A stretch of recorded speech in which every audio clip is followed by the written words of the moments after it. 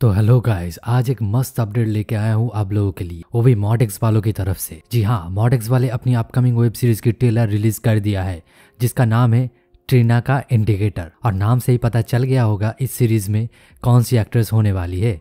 अगर नहीं तो आज इस वीडियो में, मैं इस वीडियो में इस ट्रेलर की रिव्यू करेंगे और बात करेंगे कास्टिंग स्टोरी इन सब के बारे में। तो एंड तक वीडियो ज़रूर देखना। तो टीना की इंडिकेटर में सबकी चहेती टीना नंदी होने वाली है। बहुत दिनों बाद टीना और मॉडिक्स की जोड़ी देखने को मिलेगी। और टीना है ऊपर से मॉडिक्स का सीरीज़ है मतलब क्या ही बोलना है सीन सस्पेंस के बारे में। वो तो टॉप लेवल का होने वाला है और ये वेब सीरीज़ फुल अनकट होने वाला है। और भाई क्या ही नाम है। नाम में ही सब कुछ पता चल रहा है।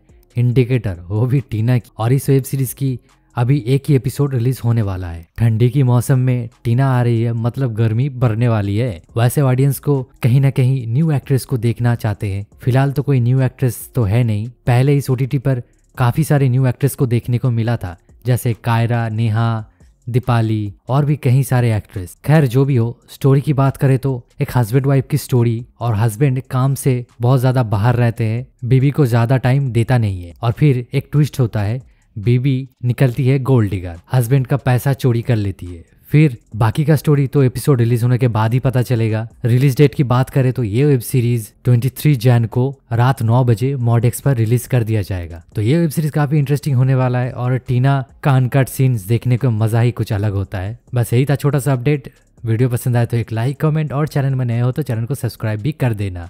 मिलते हैं किसी और नए वीडियो पे। तब तक के लिए बाय बाय पीस